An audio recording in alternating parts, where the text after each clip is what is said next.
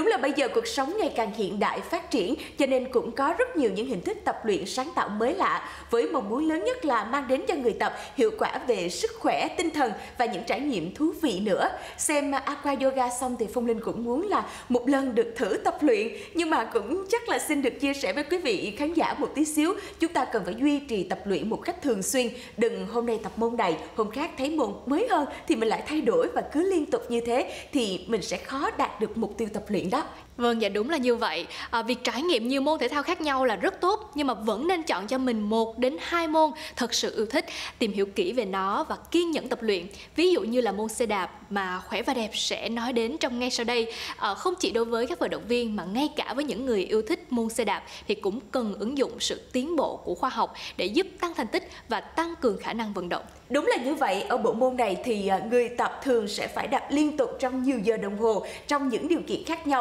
làm sao để có thể duy trì được thể lực, tối ưu tốt lực đạp cho đến khi về đích. Vận động viên chuyên nghiệp hay là cả người chơi phong trào cũng cần sự hỗ trợ của một chiếc xe phù hợp để luyện tập hiệu quả, tránh chấn thương. Và sau đây, các thành viên đội tuyển xe đạp Việt Nam sẽ chia sẻ với chúng ta những lợi ích của công nghệ hỗ trợ ID Match by Fitting.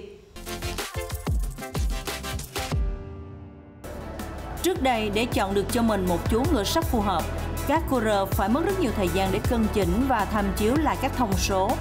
Công nghệ ID Bike by Fitting ra đời đã nhanh chóng được đón nhận ở nhiều nước nhờ hệ thống phân tích dữ liệu giúp chọn ra những mẫu xe có tư thế ngồi phù hợp nhất với các courier, từ đó hạn chế tối đa chấn thương, khắc phục khuyết điểm giúp các tay đua đạt được phong độ ổn định trong suốt quá trình thi đấu. Vừa qua, các thành viên đội tuyển xe đạp Việt Nam đã có trải nghiệm lần đầu khi ban huấn luyện quyết định áp dụng ID Công nghệ ID Match nó lần đầu tiên vận động viên cũng như Sen có thể tiếp cận được với công nghệ. Khi mà được trải nghiệm cái thì Sen cảm thấy đúng với những cái khung xương của mình. Khi mà mình đạp càng lâu thì những nhóm cơ hay là khớp mình nó sẽ bị mỏi. Thì ID nó sẽ đưa mình cái ờ, tư thế ngồi khi mình nắm ghi đông, nó sẽ tối ưu khi mình leo đèo cũng sẽ đỡ phần đau lưng hơn và lực nhấn chân của mình cũng sẽ được tối ưu hơn. Adidas sẽ hỗ trợ chúng ta về tư thế thì tư thế trong xe đạp rất là quan trọng mỗi vận động viên có cấu tạo xương khớp khác nhau thì cái việc đó cũng sẽ ảnh hưởng rất là nhiều khi mà chúng ta đạp xe. Chúng ta ngồi ở sai tư thế thì nó sẽ khác về cái nhóm cơ cũng như là xương khớp của mình nó sẽ rất là dễ bị chấn thương. Khả năng về đến rút của em nó hay bị tê giò vô đèo thì đa phần đau gối về đau lưng là nhiều. Hiện tại em à, đã làm xe và cảm nhận của em đạp bữa giờ thì ổn hơn nhiều. Ở chân của em là nó đang có khuyết điểm là nó không được đồng đều hai bên để fit lại cái Adimat này cho hai chân đồng đều và có thể uh, tận dụng tối đa cái lực chân của mình sau khi vận động viên hoàn thành các bài kiểm tra cơ học, kết quả sẽ được đưa ra nhanh chóng, phù hợp với từng size khung sườn, chiều cao yên xe, tay lái và dò dĩa. Adimash sẽ tìm ra tọa độ tương thích và điều chỉnh các thông số này trên chiếc xe đạp của họ. Cách cân chỉnh ờ, truyền thống thì họ sẽ dựa theo cái cách dựa hoàn toàn vào giác của vận động viên đó. Ở Adimax thì họ sẽ đi chuyên sâu hơn, nó về từng cơ thể của vận động viên, gợi ý được cho họ những cái sai số về phụ kiện, về khung sườn không những là những các à, vận động viên chuyên nghiệp mới sử dụng và mới tìm đến cái máy bay fit này thì bây giờ các anh em chơi phong trào cũng rất quan tâm chú trọng sức khỏe của mình. Đa số gặp những cái vấn đề giống như là đang đạp bị uh, ờ, sai tư thế rồi cảm thấy đau lưng mỏi cổ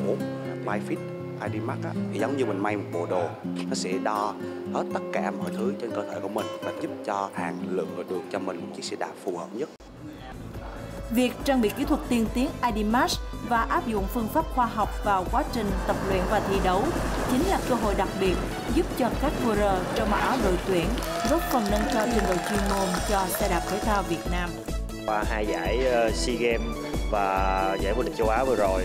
tôi thấy rất là hài lòng về cái ID Smart này. Cải thiện phần lực của xe mình duy trì được cơ thể mình trong nhiều giờ mà phải nói là chạy ngưỡng khá là cao. Adimat luôn đề cao cái tính chuyên nghiệp để mà nâng cao cái ờ, trình độ xe đạp Việt Nam. Không riêng cấp truyền hình mà những cái giải đấu